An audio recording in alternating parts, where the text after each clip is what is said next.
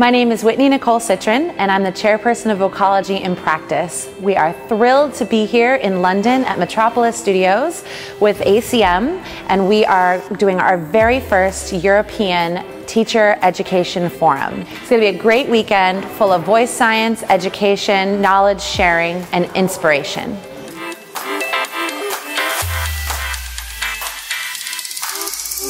My name is Aramat. I'm Education Director for Vocology in Practice, which is a network with voice teachers and voice professionals all over the world.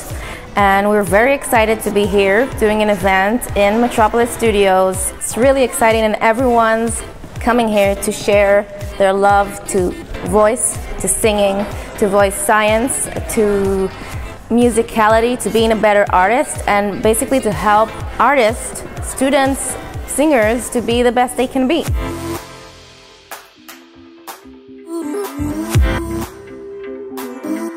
Hi, I'm Lauren Bow, um, and today I'm recording my vocals and songs for a company called Vocal Kitchen. And I'm Sam Towner, and I'll be assisting Tim with the sounding.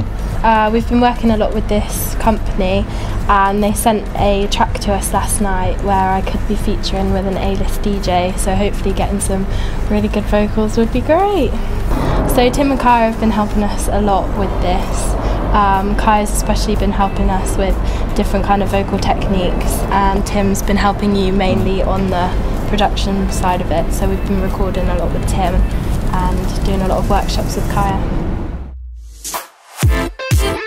Hi, I'm Kaya Hasdakani and I'm a senior lecturer and creative output artist development coach at ACM. It's amazing to partner up with Vocology in Practice. So we have about four teachers who are Vocology in Practice authorized teachers who's teaching. Uh, plus we have a lot of our other teachers here today who have been taking part in the conference. Hi, my name is John O. McNeil. I am a senior lecturer at the Academy of Contemporary Music. I uh, have had my major involvement with the Musician's Pathway at ACM, mainly doing uh, work with singers, developing their technique, their style, their improvisation, but also more broadly with the other instrumental disciplines as a more musical director and working with ensemble classes. Kaya, Tim Hawes and myself are going to be doing a session where we are setting up a studio recording and showing people how it's done in the moment. Um, we're going to be talking a bit about how we can look at studio practices, how we can style our tracks, how we can give them identity, all that kind of stuff. So looking forward to doing something a little bit different with this uh, forum. For me, that's all about hope, that lyric. When we reunite paradise, it's seeing something on the horizon, you know. And so always have that in your belly, in, in that, that kind of theme in your belly. But also, I just want you to start to let that joy into that vocal. One, two, three.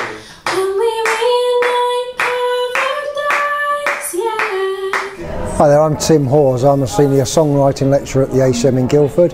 In fact, I work across the all ACM campuses, and I'm also part of the ADCO team doing artist development and creative output. And I've come here to actually bring a different perspective. Whilst um, there's a lot here about the science of vocals and technique, I'm here to bring some real world experience from the studio where I've worked with lots and lots of different artists and talks about some of my approaches from a psychological point of view technique, layering, production techniques and editing techniques as well. Hi, I'm Becky Morton. I am a vocal lecturer at ACM. I became a vocal teacher um, because I was originally a singer and that's what I did for a living, singer and musician and I started um, teaching and I got more into the teaching side of it and the voice science and trying to help other vocalists know their voice and get the most out of their voice and their performance. Hi, I'm Steve Giles and I'm a vocal coach at ACM. I'm here as board member of Vocology in Practice. It's our first event in, in England, uh, London, and uh, normally they're based in the States and we are here with a ton of voice professionals from Dr. Ingo Titze, Dr. Donald Miller, all the way through to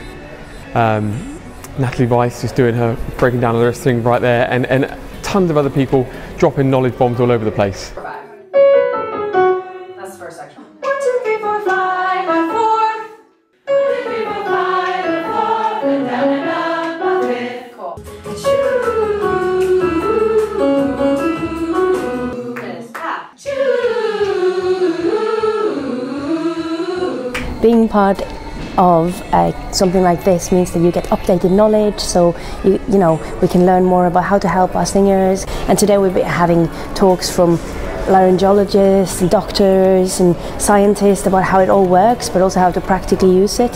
And uh, for me I'm on the board for vocology in practice and it's really amazing to be able to bring in uh, all the ACM vocal staff to get a bit of updated knowledge, come in with inspiration. I was really here for the voice science element, uh, which I've really enjoyed this morning.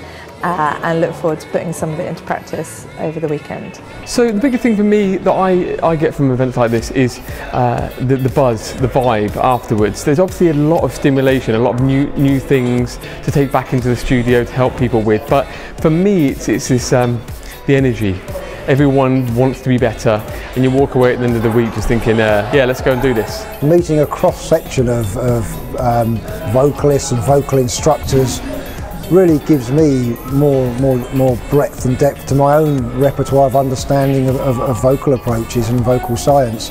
Um, and perhaps stuff that I could actually take back and apply to my own technique and share with my students back at ACM. We are right on the cusp of training incredible singers. So we want to be making sure we're being safe and looking after them well and making sure that the knowledge that is available out there is being made available to them. So it's just great that we are incorporating this into our curriculums and into the way our tutors are being trained.